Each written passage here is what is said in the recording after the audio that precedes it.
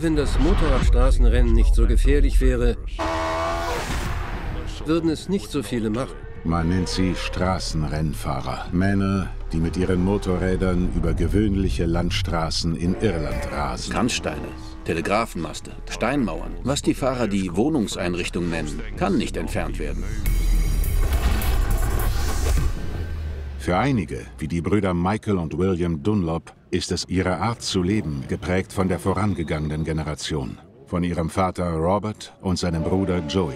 Zwei der erfolgreichsten Straßenrennfahrer der Welt. Für einen Straßenrennfahrer liegen Erfolg und Tragödie hauchdünn nebeneinander. Dann kam es aus den Lautsprechern. Er hatte einen Unfall. Hab seine Hand gehalten. Sie sehen jetzt Dunlop an der Innenseite. McGinnis will Elkin einholen. Tausende von Menschen waren bei Michael und trieben ihn zum Sieg an. Und du bist mittendrin. Du spürst die Hitze, spürst den Krach.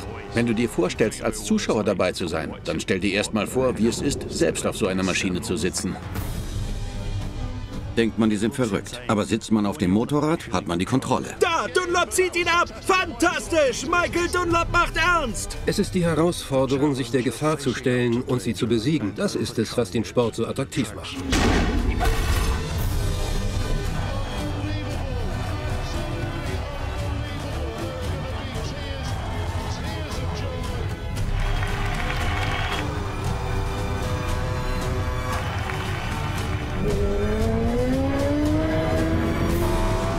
Das ist die Geschichte von zwei Brüderpaaren, zwei Generationen und einer Familie.